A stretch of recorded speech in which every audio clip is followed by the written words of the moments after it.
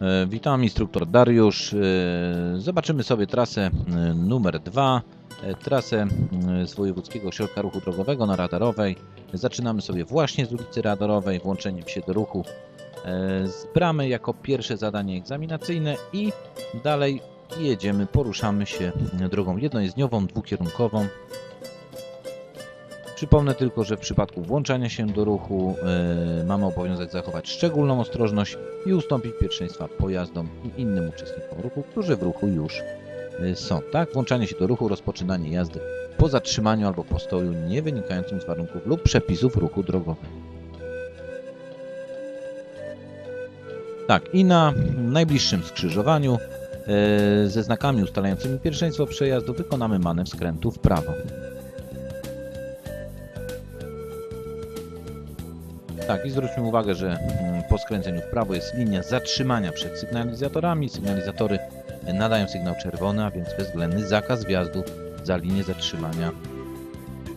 A rowerzysta oczywiście zignorował sygnał świetny. E, tak, w zadaniach egzaminacyjnych poruszać się będziemy drogami dwujezdniowymi e, i drogami jednojezdniowymi, dwukierunkowymi i jednokierunkowymi. E, Tak, w tej chwili jedno z kolejnych zadań obowiązkowych na egzaminie e, wyprzedzanie. W tej sytuacji wyprzedzamy rowerzystę, a więc jest to pojazd jednośladowy. Przypomnę o obowiązku zostawienia minimum jednego metra odległości od wyprzedzanego pojazdu jednośladowego. Tak, i na najbliższym skrzyżowaniu wykonamy sobie manewr skrętu w prawo.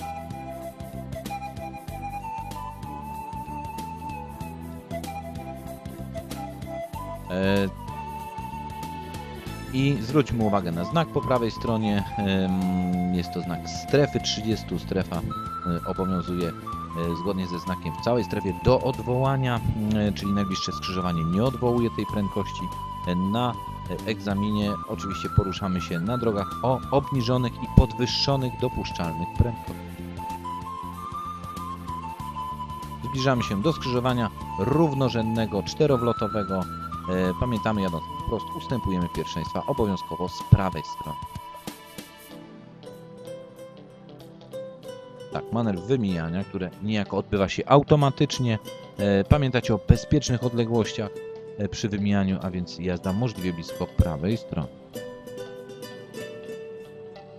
Tak, i prowadząc pojazd oczywiście staramy się przewidywać potencjalne bądź rzeczywiste zagrożenia, tak jak w tej chwili ten pieszy, który nagle wkroczył na jezdnię. I na skrzyżowaniu najbliższym wykonamy manewr skrętu w lewo.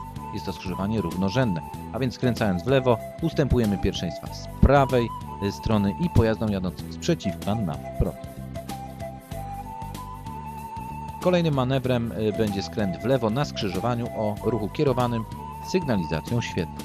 W tej sytuacji bezwzględne pierwszeństwo jest pojazdów jadących z przeciwka na wprost albo skręcających w prawo. Jak też nie zapominać, trzeba o pieszych jezdni drogi poprzecznej na przejściu dla pieszych. Oczywiście jak jest wyświetlany sygnał e, zielony, ci piesi mogą tam się znajdować. Dobrze, kolejny e, manewr jest to zmiana pasa ruchu. E, Pamiętać o zachowaniu szczególnej ostrożności i bezwzględnie ustępujemy pierwszeństwa pojazdom poruszającymi się pasem ruchu, na który my zamierzamy wjechać. Tak, i e, kolejne mm, z zadań egzaminacyjnych na najbliższym skrzyżowaniu o ruchu okrężnym, m, które jest kierowane sygnalizacją świetną, wykonamy manewr e, zawracania. E, także tu mm, przejazd przez skrzyżowanie wielopoziomowe z sygnalizacją świetną o ruchu okrężnym, przejazd przez torowisko tramwajowe. Są to wszystko zadania egzaminacyjne.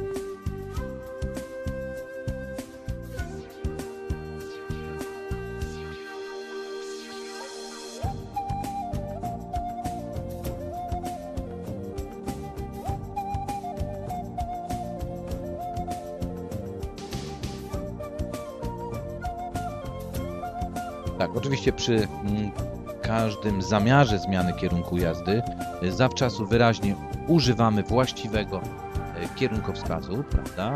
Y, I wracając do naszego zadania, wjeżdżając na rondo, pamiętać trzeba o zwracaniu uwagi na właściwe sygnalizatory i ustąpieniu bezwzględnym pierwszeństwa pojazdom szynowym zjeżdżającym bądź wjeżdżającym na rondo w sytuacji, gdy ruch kierowany jest sygnalizacją świetlną ogólną.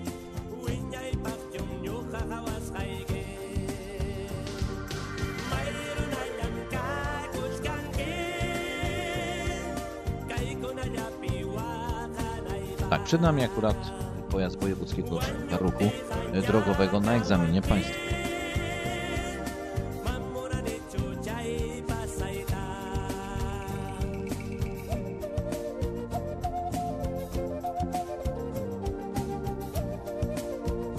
Tak, i tutaj zwróćmy uwagę na sygnalizację wewnątrz ronda.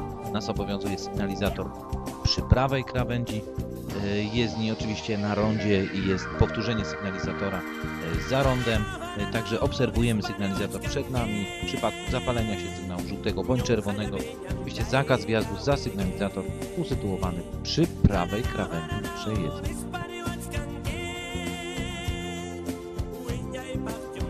Popatrzmy, zmieniają się sygnały, a więc zakaz wjazdu za sygnalizator zatrzymujemy pojazd.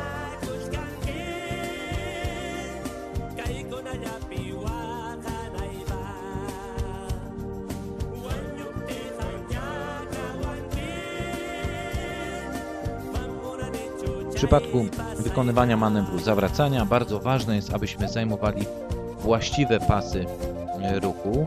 Także pierwszy skręt w lewo na rondzie yy, skręcamy jak najbliżej tej wysepki, a więc zajmujemy pas wewnętrzny, pas lewy.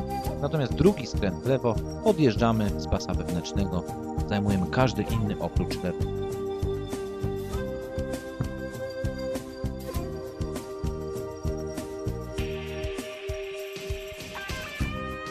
Ustępujemy pierwszeństwa bezwzględnie pojazdom szynowym,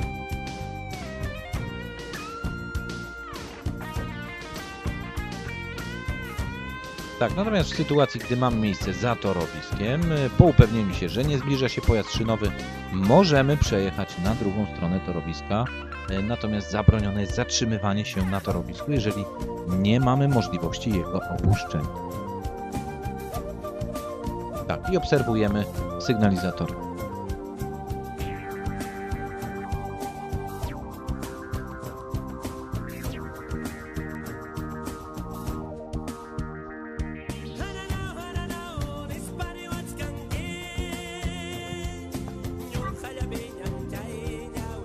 Tak, y, sygnał zielony, mm, śmiało możemy wjeżdżać za sygnalizator, tu tylko przypomnę, sygnał czerwony z żółtym zabrania wjazdu za sygnalizator, jest to sygnał przygotowania się do jazdy.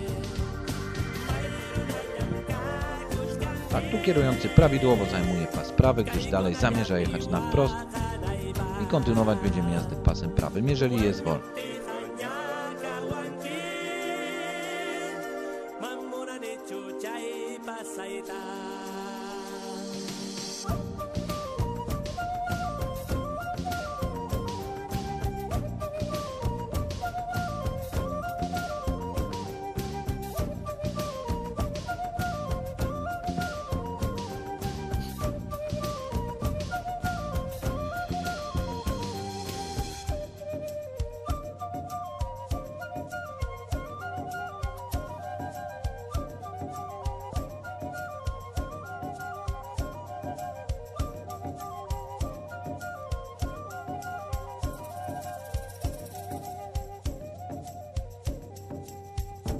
Kierunek jazdy jest na wprost, także bez wyraźnego powodu nie jedziemy pasem innym jak prawym, zgodnie z przepisami.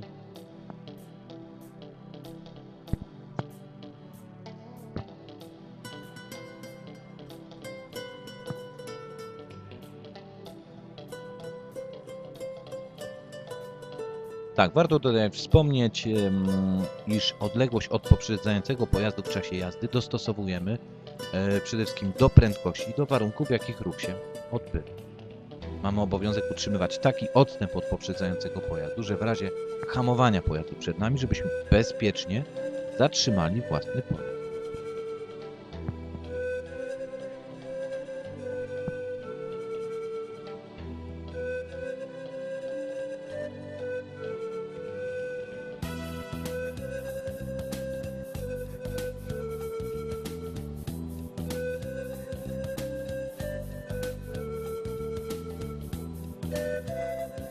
Prowadząc pojazd w wirtualnym doszkalaniu, starałem się obserwować znaki y, i y, odpowiadać, co oznaczają poszczególne znaki. Natomiast teraz kolejne z zadań na egzaminie.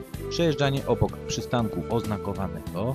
Y, Pamiętać tutaj trzeba na obszarach zabudowanych, jeżeli autobus stałby na takim przystanku i sygnalizował zamiar włączenia się do ruchu, kierujący pojazdem ma obowiązek umożliwienia włączenia się do ruchu takiego autobusu.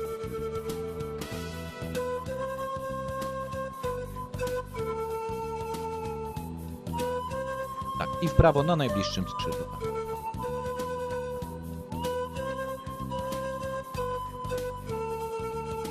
W czasie prowadzenia pojazdu zwracamy uwagę na e, znaki ograniczające prędkość. E, Praktycznie zawsze, jeżeli występuje znak ograniczający prędkość, mamy do czynienia z jakimś mm, niebezpiecznym miejscem e, i tu jest, są dość ostre zakręty.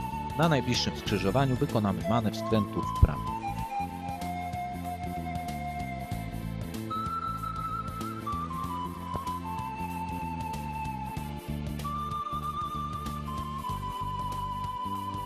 Linia podwójna ciągła, znak poziomy zabrania przejeżdżania mm, przez tą linię, najeżdżania na tą linię. Tak, i za chwilę wykonamy e, kolejne e, zadanie na egzaminie, a więc e, parkowanie prostopadłe, wjazd przodem po prawej stronie. Trzy mm, parkowania mamy e, na egzaminie. Parkowanie prostopadłe, wjazd przodem, wyjazd tyłem, parkowanie skośne, wjazd przodem, wyjazd tyłem i parkowanie równoległe, e, wjazd tyłem, wyjazd przodem.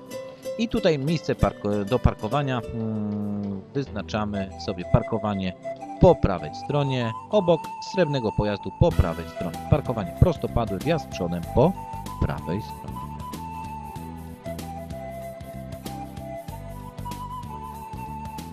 A więc po zwolnieniu bądź zatrzymaniu pojazdu e, przełączamy na bieg pierwszy, bieg do manewru, włączamy właściwy kierunkowskaz i obserwujemy tor jazdy pojazdu. E, Kryteria tego parkowania, drzwi pasażera i kierowcy mają się swobodnie otworzyć i pojazd ma być zaparkowany prostopadle do jezdni. Tu pamiętać o właściwym zabezpieczeniu e, pojazdu po parkowaniu, czyli e, w momencie jak pojazd już byśmy chcieli zostawić, dźwignia zmiany biegu w położeniu luzu i zaciągamy hamulec awaryjny. Tak, i wyjeżdżając z miejsca parkingowego, pamiętać trzeba, że włączamy się do ruchu, a więc obowiązek upewnienia się, e, czy nie zbliżają się pojazdy, e, czyli szczególna ostrożność i ustępujemy pierwszeństwa wszystkim, którzy w ruchu już są. Tak, i teraz y, kolejne z zadań na egzaminie zawracanie z wykorzystaniem elementu e, infrastruktury drogowej. W tej sytuacji wykorzystamy sobie podjazd, podblok, e, najbliższy po lewej stronie, także zawracamy z użyciem biegu wstecznego. Jeżeli wjazd, brama, zatoka, podjazd jest po lewej stronie, jezdni wjeżdżamy przodem, jeżeli po prawej stronie wjeżdżamy tyłem.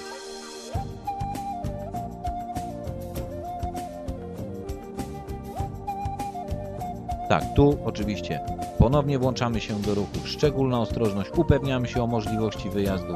Yy, Cofać należy w taki sposób, żebyśmy nie najechali na krawężnik po drugiej stronie albo nie zbliżyli się do pojazdów, a tym samym nie stworzyli zagrożenia bezpieczeństwa w ruchu drogowym i używając właściwych kierunkowskazów włączamy się do ruchu.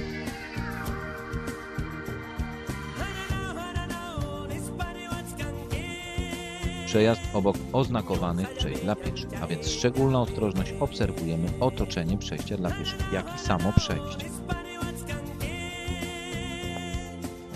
Przypadku braku mm, polecenia, jeśli chodzi o egzamin państwowy odnośnie kierunku, y, jedziemy na wprost przez skrzyżowanie.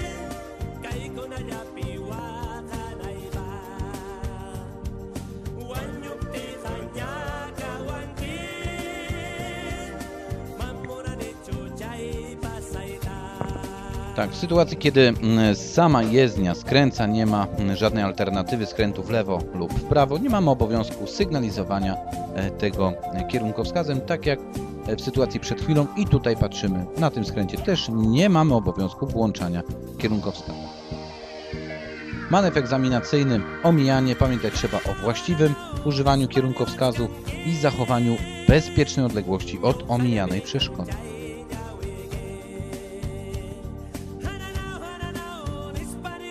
Zwróćmy uwagę, zbliżamy się do skrzyżowania równorzędnego, czyli pierwszeństwo z prawej strony obowiązkowo, jeżeli jedziemy na wprost. I w ruchu drogowym oczywiście umiejętność przewidywania różnego rodzaju niebezpiecznych e, sytuacji, odpowiedniego zachowania e, w czasie jazdy. W tej sytuacji oczywiście należy zwolnić, e, zmniejszyć prędkość, zjechać maksymalnie do prawej, żeby móc wyminąć się tutaj z pojazdem wolnobieżnym.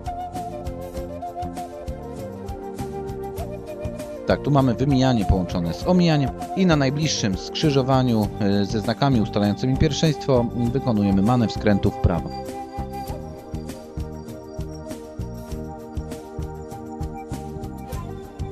Tak, widzimy linię złożoną z trójkątów, która wyznacza miejsce zatrzymania w celu ustąpienia pierwszeństwa przejazdu. E, jeżeli chodzi o linię zatrzymania, znak poziomy złożoną z trójkątów, e, tu nie mamy obowiązku bezwzględnego zatrzymania pojazdu Zgodnie z nazwą e, linia warunkowego zatrzymania zatrzymujemy się w sytuacji, kiedy ustępujemy pierwszeństwa przejazdu.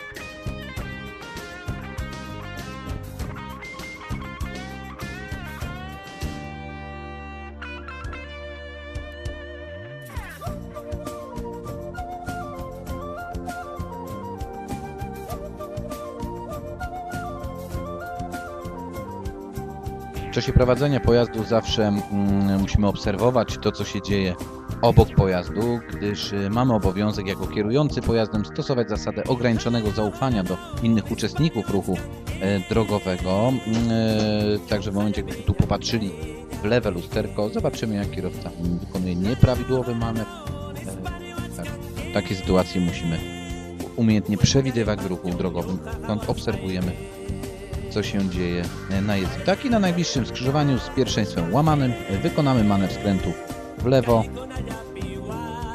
No i pytanie, komu ustępujemy pierwszeństwa w takiej sytuacji.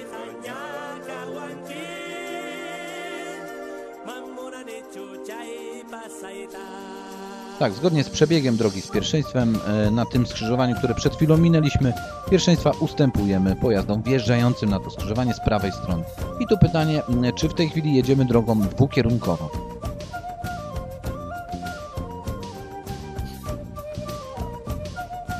Tak, jedziemy drogą jednokierunkową. Tak, i na skrzyżowaniu y, najbliższym wykonamy manewr skrętu w lewo, Stąd y, musimy ustawić się jak najbliżej lewej krawędzi jezdni, gdyż jesteśmy na drodze jednokierunkowej.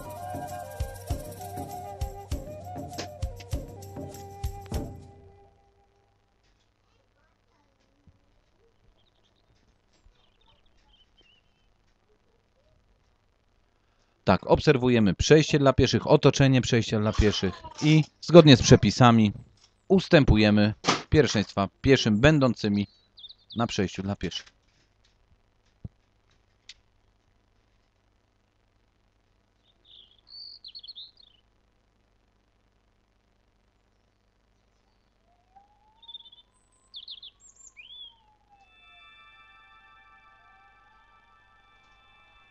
Tak, jedziemy teraz drogą jednojezdniową, dwukierunkową.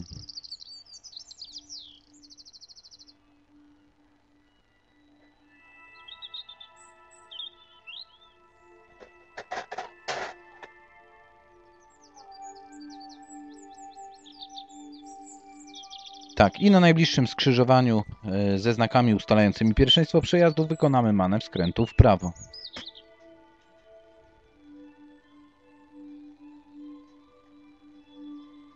Tak, obserwujemy znaki pionowe, e, poziome ustalające pierwszeństwo i do nich się stosujemy.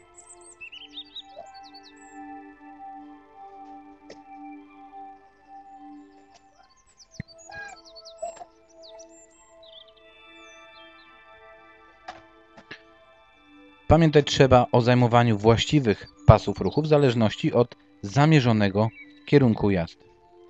I na najbliższym skrzyżowaniu wykonamy manewr skrętu w prawo. Czyli w zależności od zamierzonego kierunku jazdy, czy w prawo, czy w lewo, czy na wprost, zajmujemy właściwe miejsce na jezdni.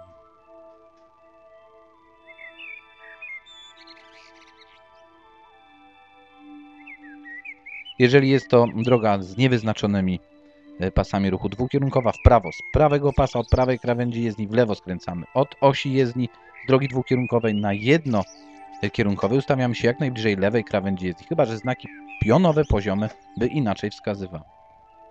Tak, i prowadząc pojazd w ruchu drogowym, oczywiście umiejętnie musimy potrafić znaleźć skrzyżowanie i zastosować oczywiście odpowiednie przepisy dotyczące pierwszeństwa.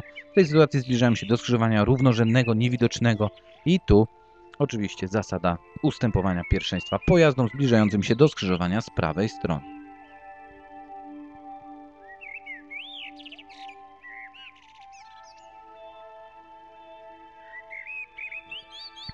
Tak, pamiętać trzeba o właściwej dynamice e, jazdy. Jeżeli mamy warunki, jedziemy e, w granicach e, prędkości maksymalnej dozwolonej na danej jezdni. I na najbliższym skrzyżowaniu o ruchu kierowanym sygnalizacją świetną wykonujemy manewr skrętu w prawo.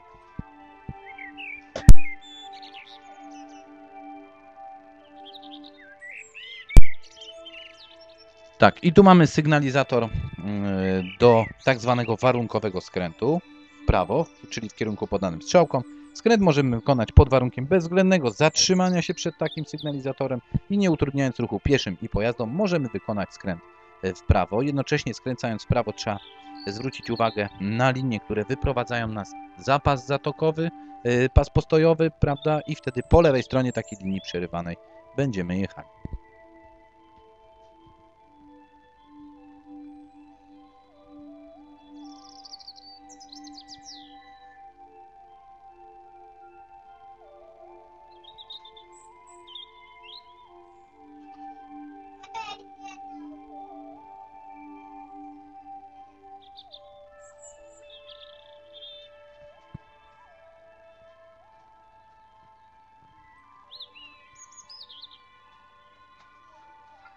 Tak, i tutaj widzimy kierujący pojazdem, y, chcąc utrzymywać mm, tor jazdy jak najbliżej prawej krawędzi jezdni, nie zwrócił uwagi na oznakowanie, które nas informuje, że e, pas, którym w tej chwili się poruszamy, jest pasem zanikającym. E, mówi o tym linia e, przerywana podwójnej długości i odstępach takich samych jak przerwy. Oznacza to pas mm, przeznaczony do skrętu w prawo bądź w lewo, albo po prostu kończący się zanikający.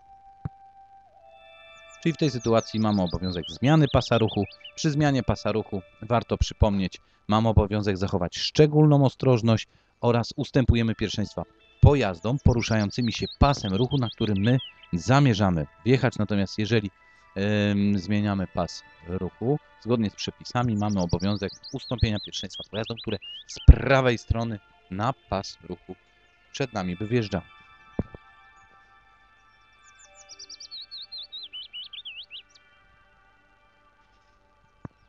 Tak, i w ruchu drogowym bez wyraźnego powodu e, hamujemy płynnie. Zabronione jest e, hamowanie gwałtowne e, bez wyraźnego powodu. Żeby po prostu nie stwarzać zagrożenia niepotrzebnego w ruchu drogowym.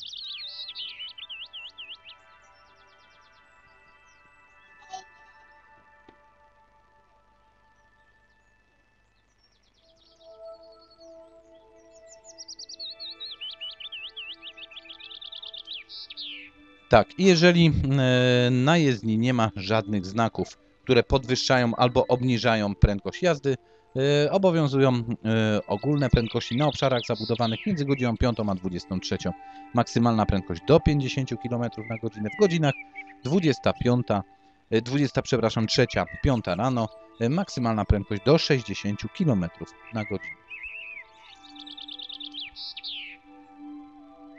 Tak, no i tu pytanie, czy e, sygnalizatory świetne mają pierwszeństwo przed znakami ustalającymi pierwszeństwo przejazdu? No i zgodnie e, z hierarchią ważności znaków i sygnałów drogowych, które decydują o pierwszeństwie przejazdu, sygnalizatory świetne, oczywiście jeżeli sprawne są i działają, mają bezwzględne pierwszeństwo przed znakami, które to pierwszeństwo regulują, czy pionowe, czy poziome. A więc w przypadku, kiedy działają sygnalizatory świetne, nie stosujemy się do znaków pionowych, poziomych, ustalających pierwszeństwo przejazdu.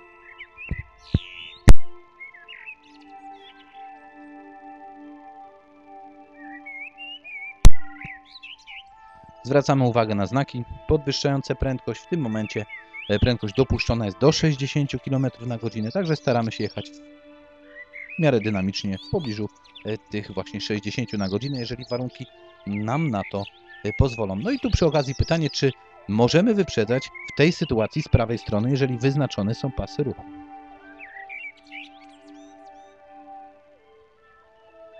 Tak, oczywiście, jeżeli pasy ruchu są wyznaczone, wyznaczone na obszarach zabudowanych, dopuszcza się wyprzedzanie z prawej strony.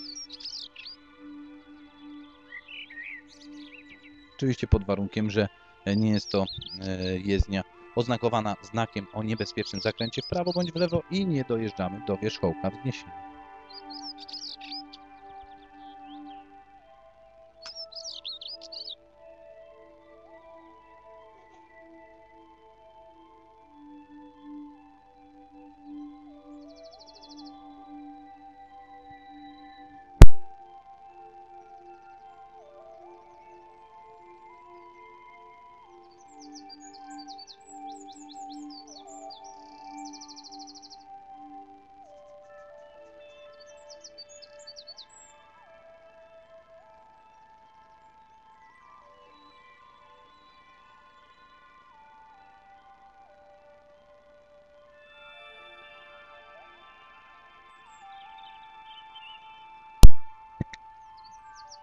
Tak, e, sygnał żółty na sygnalizatorze e, trójkomorowym, który e, kieruje ruchem na skrzyżowaniu, generalnie zabrania wjazdu za sygnalizator, chyba że kierujący jest na tyle blisko sygnalizatora, który nadaje sygnał żółty, że zmuszony byłby do gwałtownego hamowania, wtedy sygnał żółty nie dotyczy takiego kierującego.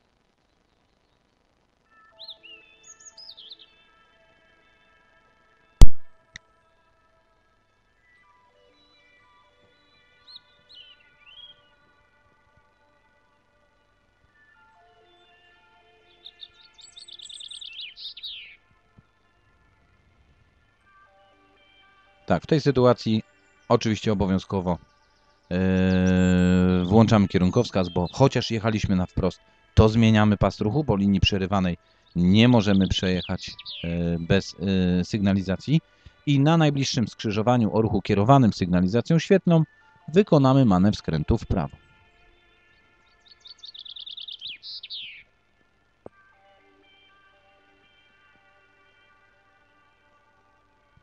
Tak, w tej sytuacji, jeżeli stoimy daleko od sygnalizatora, dźwignia zmiany biegu w położeniu luzu, noga zdjęta ze sprzęgła i czekamy yy, na sygnał zielony. Wtedy wciskamy sprzęgło, włączamy pierwszy bieg, samochód gotowy jest do ruszenia.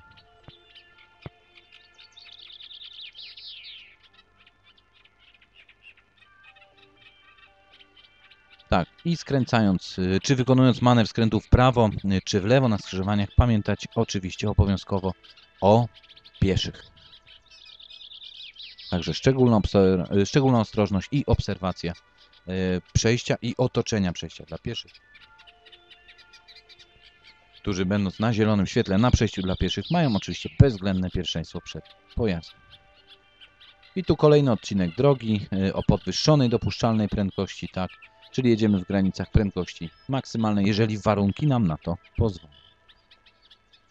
Tak, po znakach poziomych łatwo się zorientować, że y, prawy pas ruchu będzie się y, kończył, jest zanikający, a więc y, zmieniamy pas ruchu i kontynuujemy dalej jazdę na wprost.